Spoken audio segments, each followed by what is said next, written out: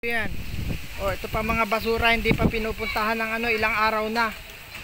Hindi, Diyan po ah. hindi pa pinupuntahan ng truck. Nasaan ang truck? Diyan sa. Ilang araw na ito.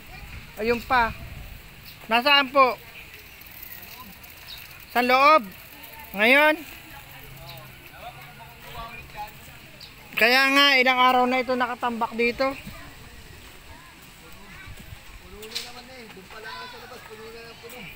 Ganun ba? Dapat araw-arawin nila. Ayan, ipapadala natin ito kay ano, kay Kapitana.